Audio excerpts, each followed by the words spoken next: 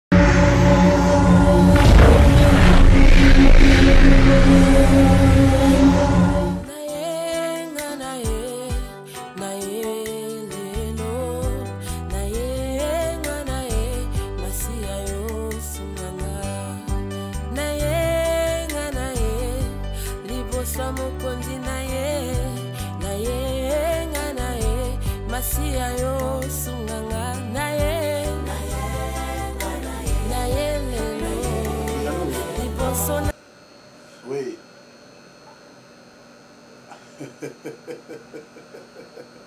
ah tikoloba boye ko mk kizika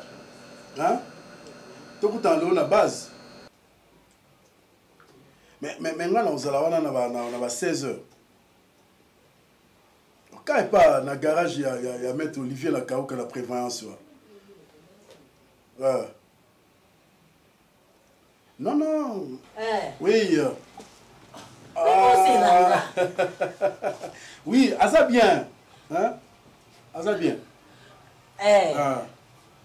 nga nalati uniforme déjà nasi nalobaki na mutu te bayeba ke moziki na biso tolata ba uniforme toya basa pampamba te mibali na biso bana eloko te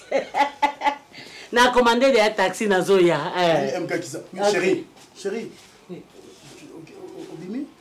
na kati naorapele bino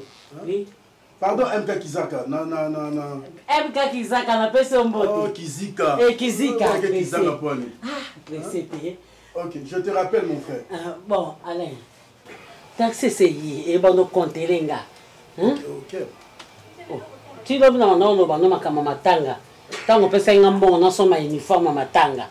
oyebi te ke programme ya matanga baza kointere leyo toke kuna na cinquantenaire ekasi oyeba te nde ini sikoyo nasala nini kasi kende mosala nga nake matanga lia na restaurant kasi po heure na ozonga nayebi te wana nakokotisa deja biloko nayebi heure na ozonga te oyebi ke toke miziki mpe ya kala so tolongwe kuna lokola moninga biso azalaki ambiaster eh, bamama na biso ya zandu wana toko tozokende mpenza euh, toyoka miziki ya kala soki baleve corps ozongi esimba te chéri esika nasali 3 jours na olia te tu sais ça non kutu bien mpo dine tobakisa mpe bapoati oyebi yango mais ti alobaki odine ngai na oprefere olongola ata 10 kilo nalobi e obengi mk kizika kende kuna epane mwasi nazalaka gentil ntango akolamba bolia ensemble na ye o oh, papa oza molimo ya kolia makasi boye pourkoi oza kaka monene ozo compliquer bato na mouvement du corps nga nakei na pokwa nga ba 21 na oya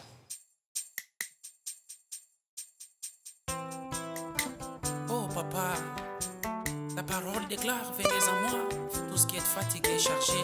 et je vous donnerai du repos c'est toi qui es le vrai repos yango na ye epai na yo wete konganga kolongola bazemi ouais papa Ngai nalobaki boye, Bino kuna na Etats-Unis,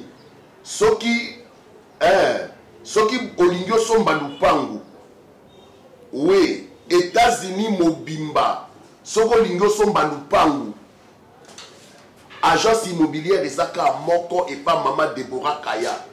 Agence immobilière eza kaka moko, olingi osomba lupangu, olingi ozwa appartement olingi ozwa villa ya bien eza kaka pa mama debora kaya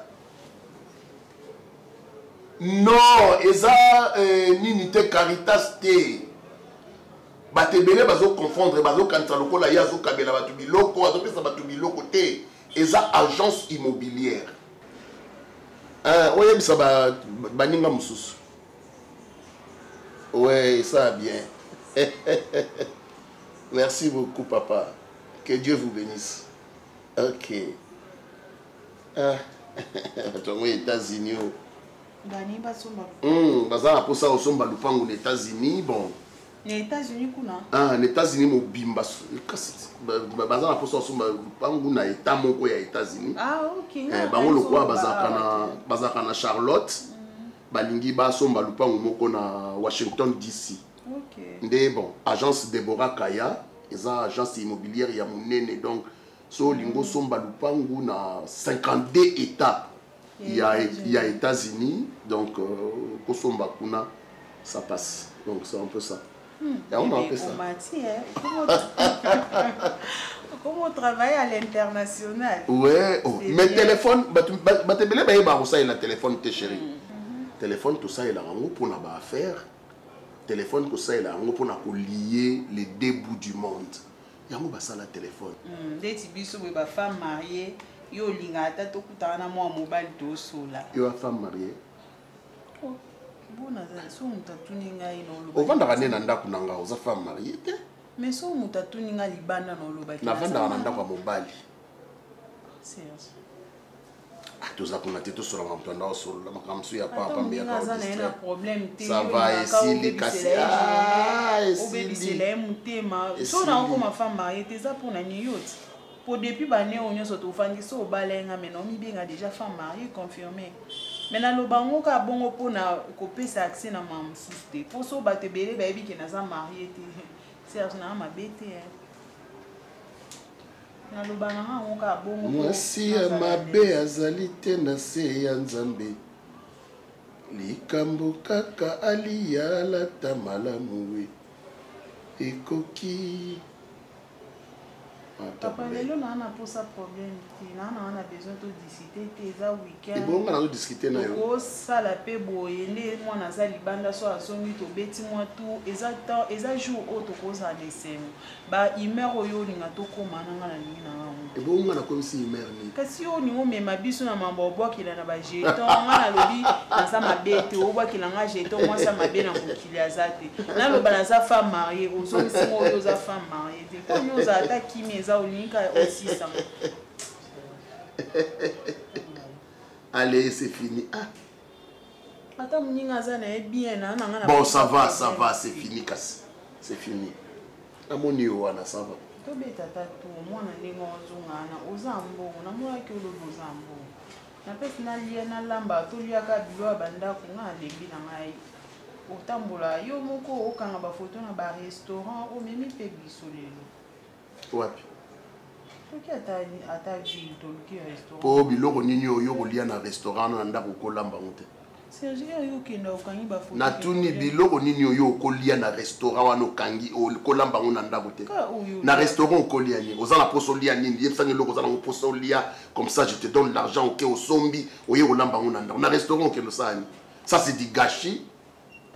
eh, oyebi ngai nakendaka na cadre nini mpo ani olingaka kose compare na nga ntango yo okendaka olingaka comparaison na nga mpo ani mais non oza kose compare na nga ntango olobi ke ntango yo okendaka eza comparaison na compare te nasengi napesi exemple ke ocompare eh, na ngai olobi ntango ntango yo okendaka eza ja comparaison soki oza na eloko nyonso oza nango besoin ya kolia loba na nga ngulu taba eh, soso eh, tilapia eh, nini sol tout oza nango besoin makayabu saucisse eh, nini steak euh, hamburger tout oza nango besoin tout oyo oza nango besoin nakotinda basombeli oyo ye kolia na ndako pourkoi ozaka na posa déplacement oza na posa obima bato bamona yo na nzela mwasi ye wana azoleka bato batalaka talaka yo sesanotika makambo pamba wana Serge, yo si faut bima na ba camarades na wana ozala à l'aise, ozosepela, obongama na gentillesse nyonso. Comparaison nde nazoboya. Nga ntango navandaka na baninga na baami baza baclient baye baye na agence na biso na toke na restaurant tovandi toosolola affaire sikoyoapart domitile na mema nani Eh, Serge na bando otangelo. Tangat. Mama Wivine Ngalula bayaka na mobali ne papa Christophe Chibaso mema bango te. Couple Chibasu lero bayaki eh. ezalaki juste mpo na kosepelisa bango. Kosepelisa bango ana misenga kasi cousine na ou ta États-Unis. Ye pe ka ezali mpo na kosepelisa. Comparaison de loko na oboya. Ngando ko. Omoni mena ya lo yo so mi ozo mi kokanisa na ana misenga.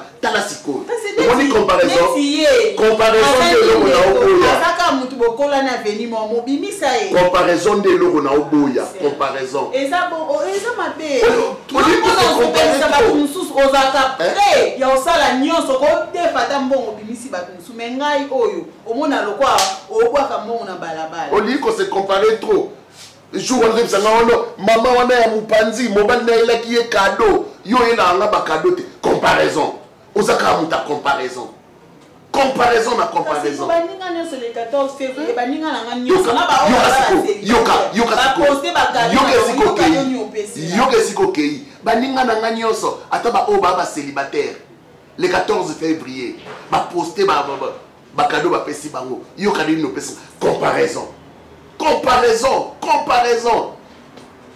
comparaison toujours na compara vie na nga na motu te ocompare déjà na compara vie na nga na motu me nafandaka ocompare baninga na yo me nalobi eza logique papa eza logique tosalaka makambo oyo tomona epa bato mosusu etikali moke koloba mpe baninga na ngai nyonso mibali na bango mandefu ya mwindu yo mandefu ya pembe comparaison Serge na compara yo na mutu. Ah omoni?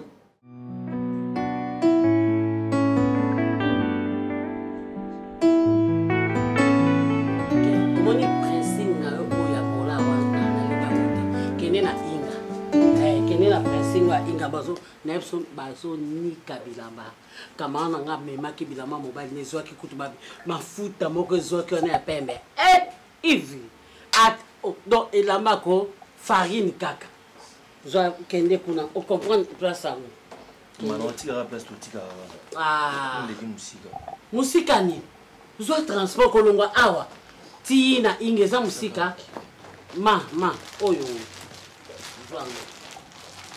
bwaka yango na kalamu kofongola yango te eza nini nabi kofongola te soki bakoluka tokoma mwa salote okoma mungwa mpo ani bayebisi ekota nsima ata wele atali nsima donc otuna nga bakestion ebele te ma nasisi maloba te ntango bazoloba na yo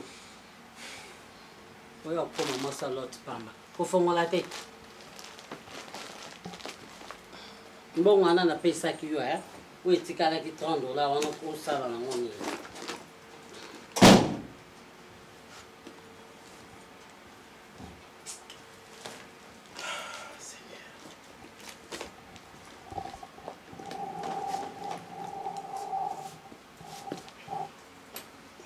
ma copine ah, boni te nakoya na moi te moi eza makasi mingi wi lelo nalamba ata nayoki mposo olia nini mwa eloko moko ya mwa supu boye Oui, ata nazo ba munene leki na lia bloko kauka leo na lia ta supu. Hmm. Tete tete non mais whisky le dote non non. Leo na mais masanga sukali. Mais soka ambiance pele eye makasi mouvement eza. Na omela langa. Te, na osala ya papa te, mukanya oyo osalela papa ya bango. Wana osalaka uniquement mpo na nga. Mposo na bino asala biloko ebele ebele na kolemba. D'accord. Bisous, bisous, je t'aime aussi. Boni papa. Ah, ozotumele liboke. Eh? Liboke abisa mai. Waouh! Pesa ye bon appétit. Ah.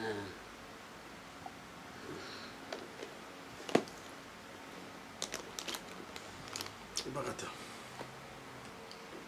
Na ndima quand même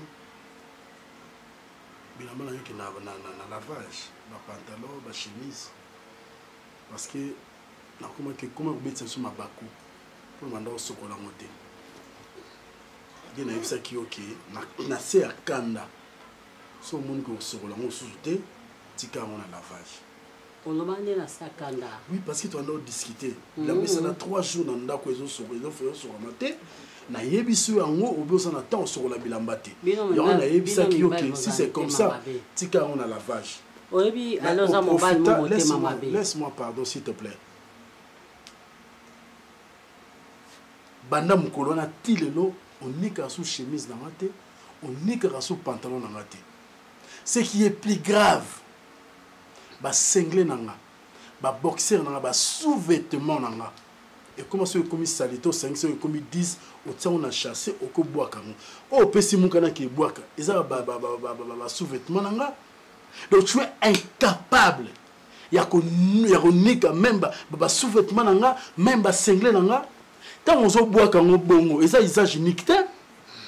donc il faut soki nasombaka mosusu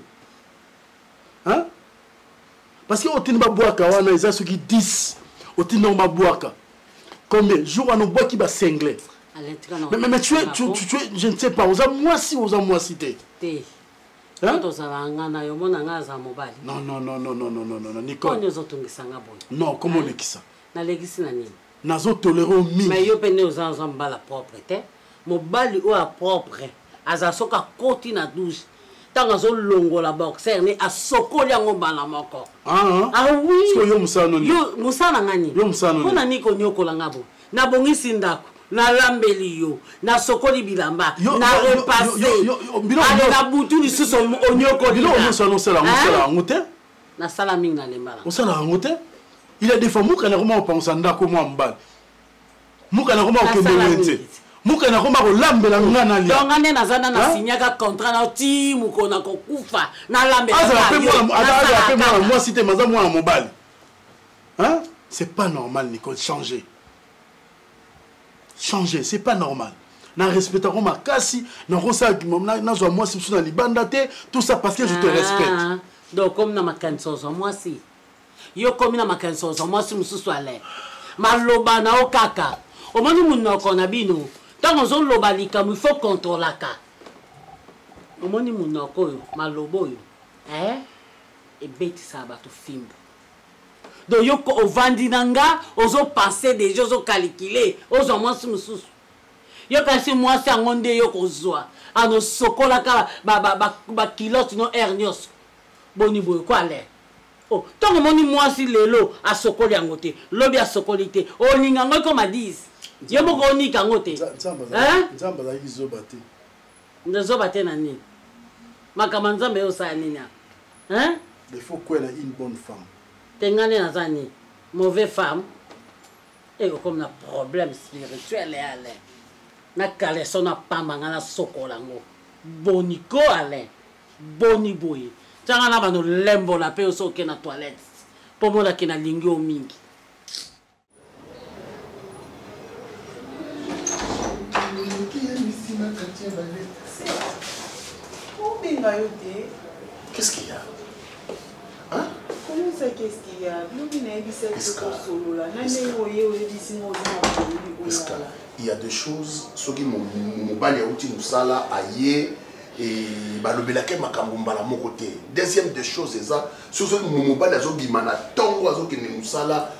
makanisi na ye focus mosala mais sikoyo ngai no tozwa temps favorable te mpo na osolola mpo so nazeli ere outa mosala o oh, ere oyo naza fatigue so nazeli na butu ere olali ata ndambutu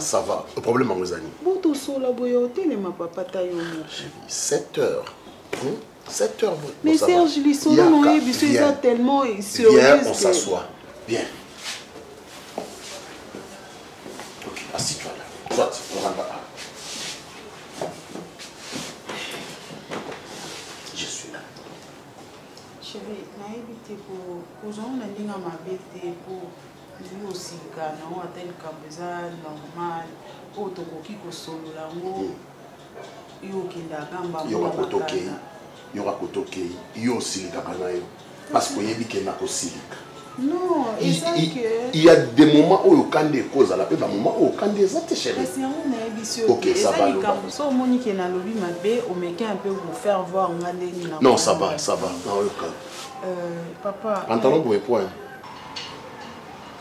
Bebe, oyebi ke natikali kaka na bapantalon oyo mibale nyonso wana ekoka ngai lisusu ah ok ça va nyonso wana mpe kaka eza kaka mamu fo tosolola mais naloba na oyo oh, parce que yango nde eza très important mhm. bebe euh, yo mo oyebi baane oyo oh, déjà tosali depuis nakoma na ndako e famille bakoma oloba banda ozwa facture oreagisaka te namona ata effort moko ah, osalaka navanda na ata mokolo moko to ovandisanga mpo tuna ngai ata nde nini tokosala mpo tobanda kosomba biloko yo oyebi oyebi famille na biso nde bana na bango bataki ndoki te mais esala nga mpe bien mobali oyo navanda na ye plus de 15 ans ahonore ngai Okay, ça va. Bato nyonso kutu na baoyo bazwela bango ba facture na nsima baye kobala bango. Ekanga eh, maloba na yo, bomba maloba no nyonso wana nayebi. Nayebi ce que je suis en train de faire. Bébé, oyebi 15 ans. Na, nayebi na kosala ngo. Nayebi. libala bapreparaka yango priska libala selema selema te olamuki na ntongo boye pan depuis naye na ndako ozwaka ntango prépare te oza na mbongo so ezalaki ke mbongo ezangi nalingi na loba te mobali na nga aza na mbongo te mais papa oza na mbongo bato kutu baganyaka moins ke yo camarade no aganya moins ke yo mais ye wana auti obala epuis asali libala kafu e serge oyebisa nga te eza mbongo te mbongo ezangi te mhm. ya nango kaka naomona nde volonté na part na yo te parce que soki ozalaki na volonté bamoma nyonso bata nyonso nga na vai na ndako ere oyo tooloba ye mosusu mais déjà si tosala bamariage nyonso wana papa pardon tya volonté ko Ekomi osala nga soni na famille. Bato nyonso so tokutani ka oh, yo libala no ti sikoyo esalemaka te boni maomba libala après 5 ans tovanda na rapela o likambo oyo oyo oh, nayoki après 10 ans na rapela o likambo oyo oyo oh, nayoki 15 ans toleki yango tokende serge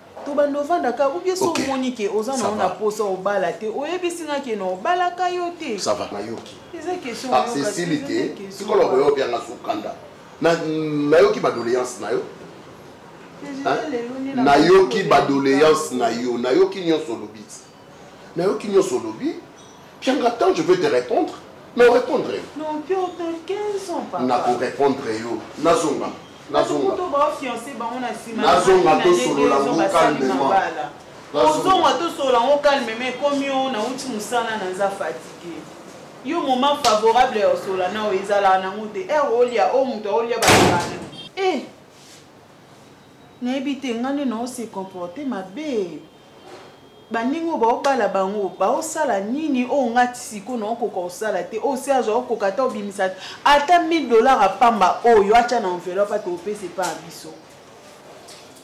e eh, lisumu balakelanga mabe o serge aza na milimo mabe naocomprendre te nzambe na ngai eza parmi biloko nalingaka te naosala efort mwa masolo no calme na kanda te me o énerve nga kaka pourkoi opesa nga kaka kanda yo moyebi no ke attitude na nga to eta na nga nazala na esengo no te parce que situation obaki opesa ngai no nazwa ngo te ti sikoyo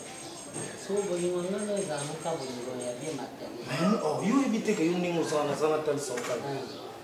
yo nteke yo ndenge oza wana wana vie de couple moko boye ngai na ndima yango oyebi te ngai nasalaka peshe oh, yoyebi teke na makambo oyo ngai na ndima lisumu ezalaka mpo na ngai récompense na ngai ezali lifuti ndeti nga nayebi ke ah nabimaka na femme mari siko lifuti na ngai ndeti ezali mama kolinga makambo mosusu ah, zela nanu zela nanu ah, mikolo asiki nga kende ozwa mbongo ti tokabwana oyo tosololaki lelo mama mobimba monga na boye estce ndenge ovandi boye nga na boye nke présence no esala nga bien tu es belle ndenge ozalaka olati kitoko ndenge olataka toujours mais sauf que ah, merci wana ezalaka accompagne na mbongo te yo te nga na na besoin mbongo nayebi te ah. luka mbongo soyebisanga olinganga obi olinganga mbongo ndiko nalinga nyonso mibale te nalinga nyonso mibale oza natalisa obie ya liboso nalingaka yo tu es belle oza bagu na nga epuis na santako nyonso tout bien hmm. deuxièmement hmm. soki kaka nazongi na étape oyo kaka motu na ngai réfléchir ba oza femme mariée soki nakoma okalkile intérêt na ngai eza nini soki tokabwani boya nalanga mbetu mwana na mobali mosusu nga nake lalanga mo kalema eske ozomona okomprendre place naza biso so nayebi so oke na priva mobali na nga ndako ah, tika oh, noyebitika totya video totya ngai otya video na ndako na bino peut-être oyeba te oh. omoni eloko eleka na ndako na nga soki oyebaki olinga nga makasi Chérie. Qu'est-ce qui prouve Nicole Nalinga ko. Omoni omoni nga nzoto na nga ko partager yango na mobali eza mpo na yo soki kutu na oprive meme mobali na nga ndako mpo na yo yebaki nalingako nga mpe nalingako mingi me eh, salaka mpe makambo oyo ekosala nga bien nini oh, nga tosolola nga naoloba yo komotala telefone nini oh. me yamba ti yamba ye ozobanga ni yamba pele nga mona ndi oui alors ça va na oya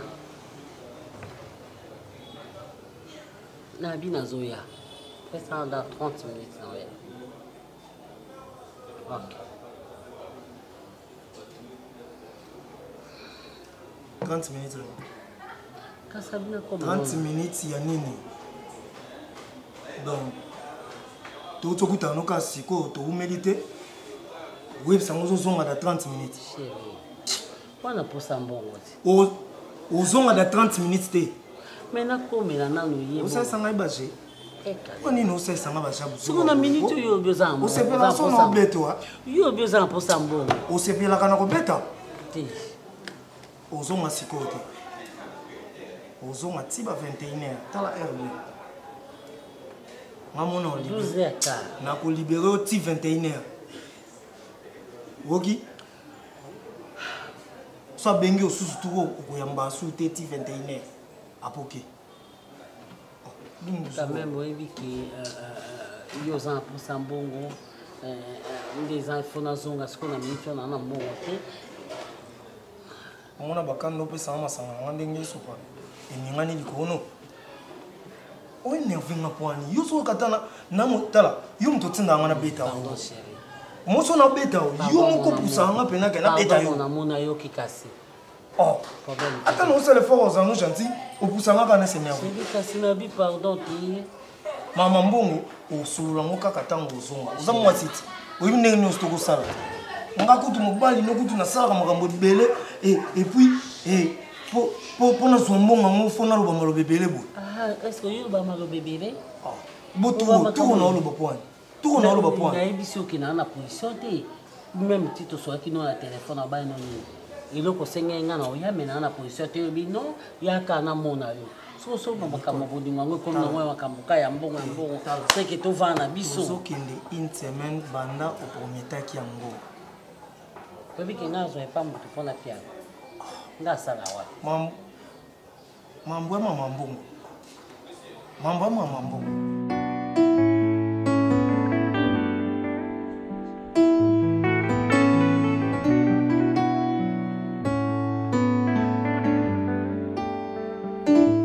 esika nakamaka makasi vraiment bomiyebaka te soki oza na bomoi omiyebi te ke ngai nazanga banda okende okota libala owumela kuna ata eloko malonga esalamaka te mobali asalaka te ata geste moko te 16 ans eza ebele te mwana ngai te ngai na ah, nini asala predote donc okosala predote ezalaka libala yo obi geste geste yango na predote eza geste te Predote yo kasi predote ezaka libala. kasi yo eza komonana geste te mais geste yango wana predote apres tookee malembe malembe geste oyo ezanga motuna makolo mwana kabaka azwaka facture mpo na nini o oh, mpo asambusaka na libota wana baloba ke mama oyo aliane mbongo libala ye moko biso na libota tolete bamonelaka mabe na libota na ngai soki facture azwaka ebunga yebisa tobandela zero mama esika obalela bango baoyeba ti so no babali te bango mpe bayeba ke no babali te no babengisi bango na feti te kaka mbabonakenda kotuna mobanana samba bola te nakenda kotuna mobali na yo so obungisa facture o tobandela facture ya zelo a zero na bata zelo okende otuneleni olotuna te pone mpo ye nazobanga ye omona bokilo yaki otuna bokilo obala mwana nga mokoni ezalaka mama seza eza ebele te boye te ah tantu balobi ke oyo mpenza eh, eh, bitabo babengaka mwasi zoba mpenza bongo te tantu obala na kaka l'essentiel bino bozela bosi bokoma facture bovanda bozela namoni facture wana ebunga ebunga te eza yo verifie soki facture tuna ye mama alobi soki facture ebunga babandela mpo biloko lere topesaka ye facture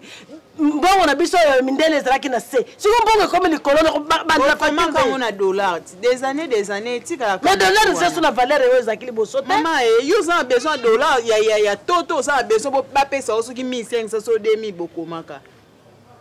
eyozokotela eh, mobali yango ata 1000 dollar ka lelo mpe bato baobala na ba 500 ngaka ndefu bobalisa nga chere Oh, koko na memela bino lelo bokoma osepela koko na ngai koko na ngai ezaka mpo na nani serge wana te wana ozoba bongo ngai ye eh, nga mama zoba eh. libota na nga bayini nga balobi na bazwa facture eh. bakoyinela yo nini bakoyinela yo nini soki ozwa mbongo no bapesa na bia na konte na yo okosepela nakoya kuna yozelaka oso olingi tozala bien nakolobela yo mabe te nakomatisela yo ton te En tout cas maman to se respecter. Ndaku na nga mobali na nga tikela nga yango. Obengai nga deja mwana o oyebisi nga na yoki. Na yebisi yo pe nga na lobi soki eza ko bala bande ko na onyo so bazala kimia ba obala kanga kaka 16 ans et 20 ans et 25 ans to fini ka na obala. Obala na za motema mabe eh. Ah mitema penza mabe penza okaka moto akanga lizita na motema. Aya ko senga nga facture pe 16 ans yango oyo. Asala ka dia mvimba te na vanda ka na zela ka ti mokolo ya ko ya. boni bino bana kisasa bozalaka boye esoko ozongi ozongi mpo aya kobala yo na oboyo yango te eh, yo kasi kosala présentation soki asalaka nini wana soki nini yango soki nini nini eya na ntina eya na valeur te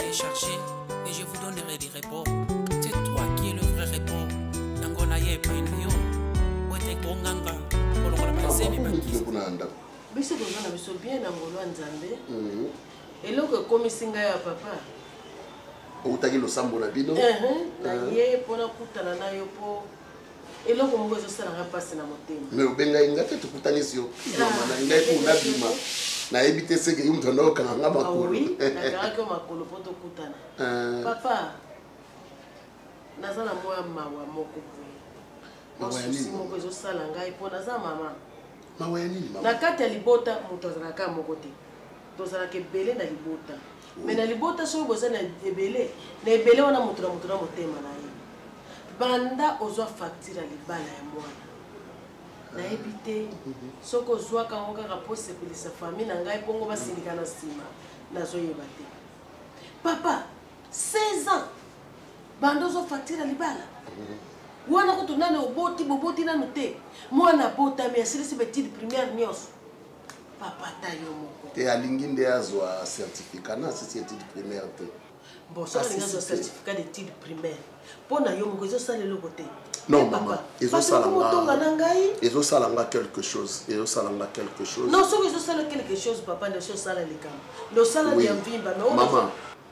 omoni priska aza mwasi bakobala ye pa mpamba te mhm. mama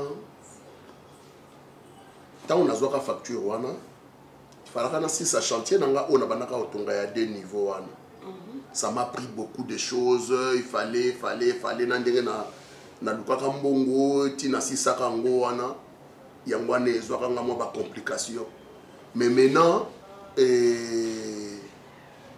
je suis en train de me préparer maman mbongo kaka nde esalaki mwa difficulté mbongo eza ezalaki na mwa problème mais cette fois là nabanzi makambo nyonso ekende bien epuis maman ndenge nalingaka libala na ngai ezala nga nakosalisa priska libala ka te ndenge bato nyonso libala ordinaire bato basalaka priska fasala un mariage de rêve un mariage de rêve maman mariage oyo je crois bato bakotikalaka kolobela yango meme na famille na bino mama bakolobelaka yango okozala na ide te mama kozala motema kokita mama papa wemba avandala mama amazone bamvula ebele mpe nsima na yango baye osala libala me ngai ekozala bongo te mama na nalaka yo lokola mwana mvula oyo osila te na osisa makambo wana nyonso nalingaka moto azwaka baexemple ya mabe te atia na oyo ya ye te nazwi ekowumela papa oyo bawumelaki na defe papa oyo bana amazone mhm. eh, eza bango mhm. mais mpo na nga famille ezosala nga pression mpe bazotunatuna ngai mhm. so bomoni ke bokosala eh, mariage na bino likolo avion botelemi kishasa oyo bazotala bino wana etali bino mais mpo na ngai namoni pesaka ata mbongo ya libala eh, osala baceremonie na yo nsima parce ke bino bato namonaka bo preferaka kosala mingi ba ceremonie ya makasi na mabala na bino mais na kati na bino libala ezalaka te donc c'est ça allô oui rappelle moi euh, euh rappelle moi euh, rappelle moi na osola na na mama mama bokilo rappelle moi rappelle moi soit nga mona obengo so na sisi masolo na obenga Mm, maman, nabanzi toko tobongisa yango mbula oyo osila te makambo nyonso osila. Esalama ndenge olobi, soki mm. mbula ekosila te makambo nyonso esila,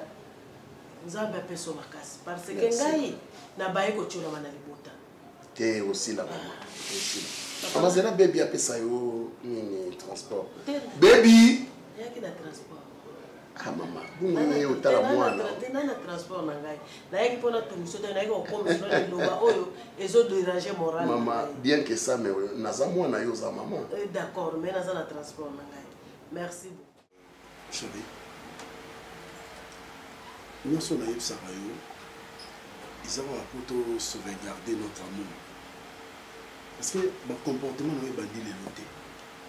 banda muka nazalaki mwa moke mais lelo akomi grand garçon tout le temps des problèmes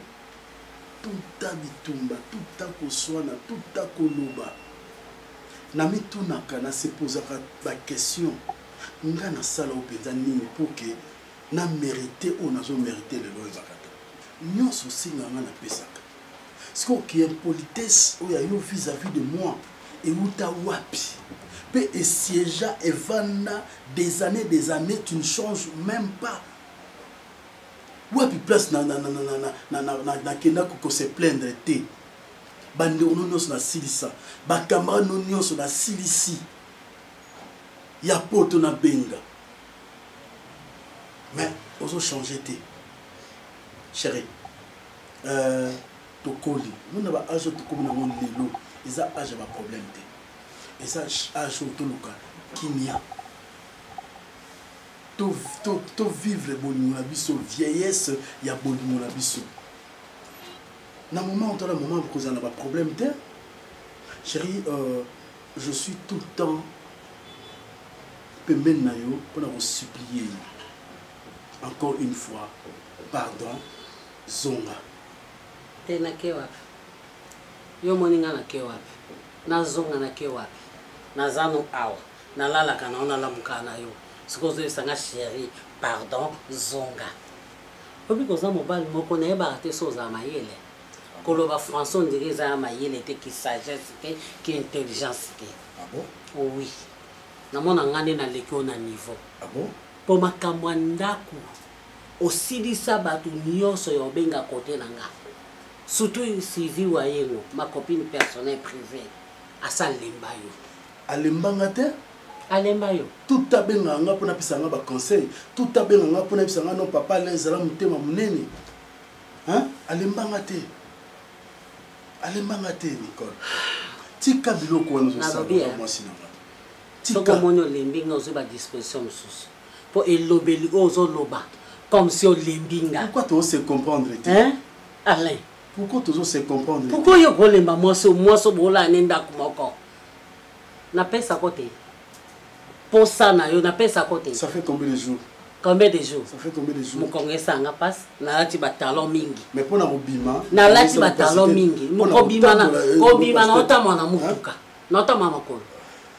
hein age na ngai eza deya menace so nazolata batalon mingi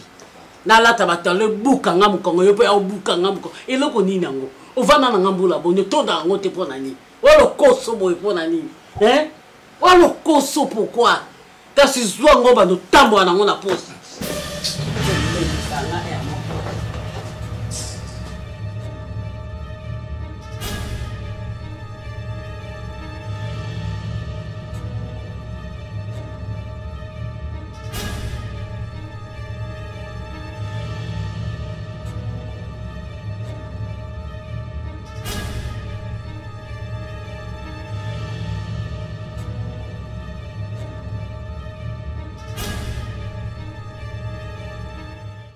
mosusu olingi osala yango mama omitie mpe na place ya moto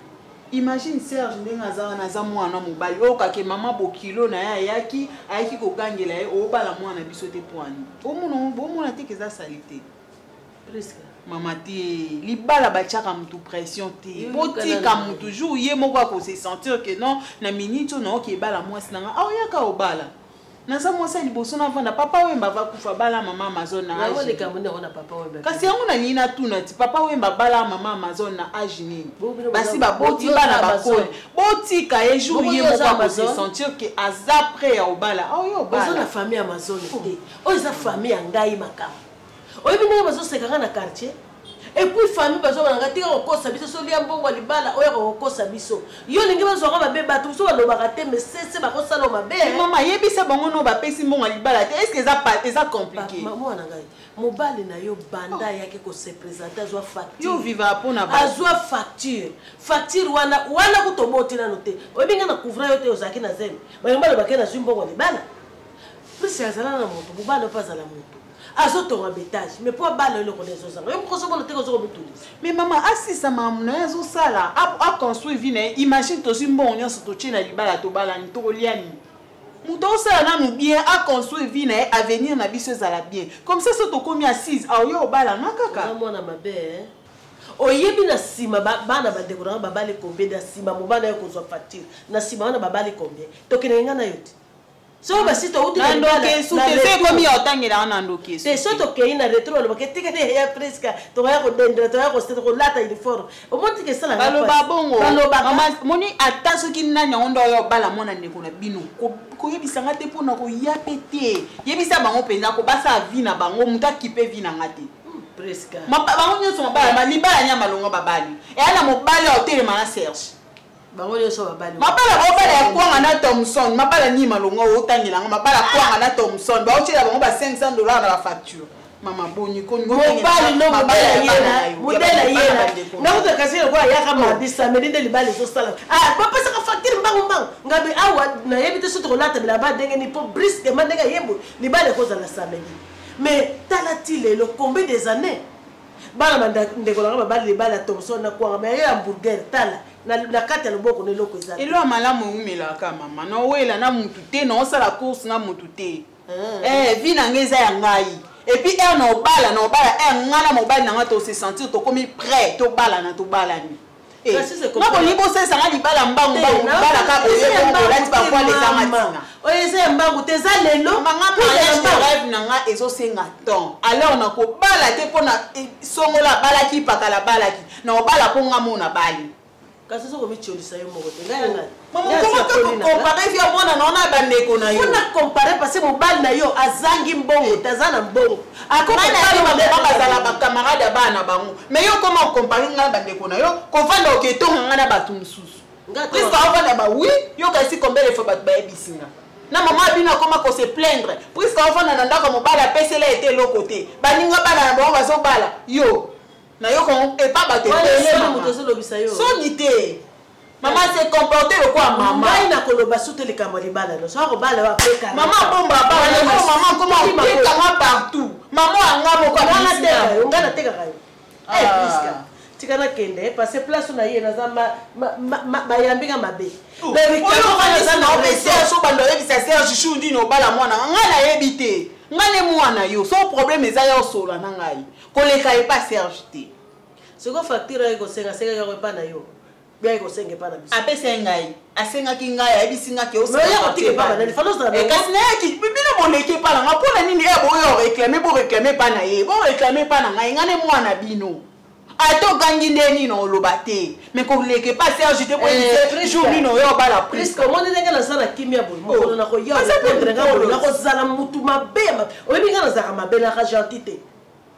nga gentil naka ezaka so oyeli nga gentil soko piken piken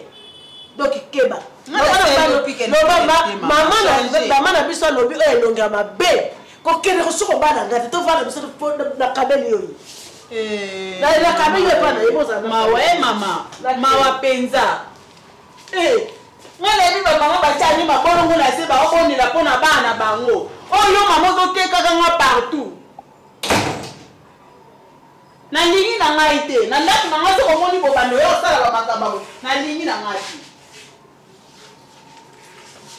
Oh. Momo mobimba oteka nga ka yo. Kokende otonga wana bandeko no ka yo. Kokompare nga na mokili mobimba ka yo. Naza bango te. Na osala na nga mpe makambo lokola moto wana te.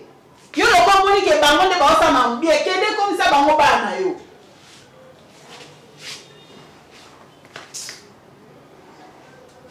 okompare ngai na bato mabalani ya malonga bango babali mabalani mpena otelemisa ata nga ndako na ye ya ofele na oprefere yango eh, libala ya popola kiti tovanda yango wana nde obenga libala na yango abali mpena bo atelemisi ndako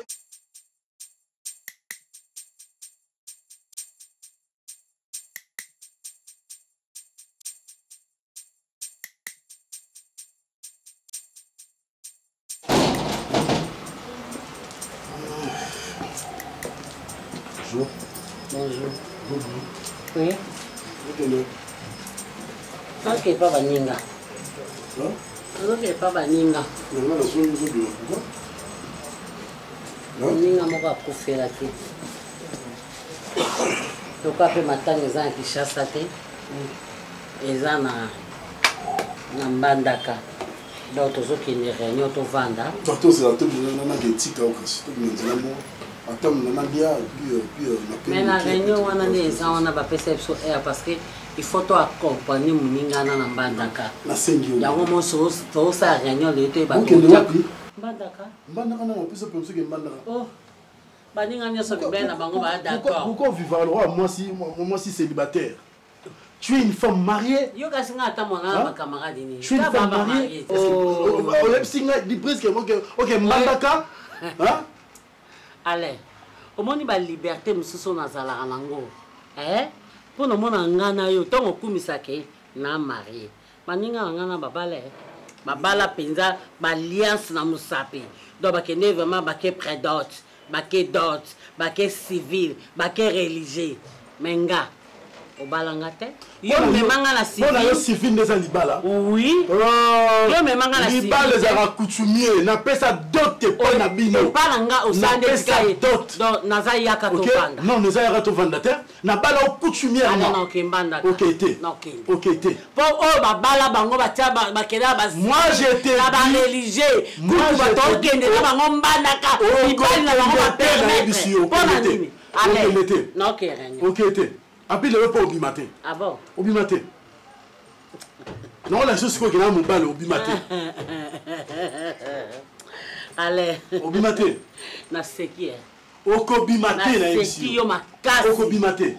nabima te mpo na nini na biso lelo nga nabima te mpo na nini obima te te obima te yo kasi ndenge oza na lokwato ya mwasi na mobali tokufa nzela moko te yo ana mokolo okufa nga na ana mokolo okufa soki nga nakende na lola yo oke lifelo soki ngai nake lifelo yo ke lola alors ndenge ezala na kokanisa te lokola toza libala yango kimakango oyo tovanangaoza likango na nga te eh? bacomportement mpe ya mabe yango wana tosala civil te ah. napesa dote mpo na bino na bala yo coutumièrement na bala yo coutumièrement omoni yo so permettre nga na bima te na obeto na osambo so obeta nga na yebisi yo obeta nga na osambo sa yo obeta nga na yebisi yo obeta nga kanga pe ama kofi na obeta nga mama obeta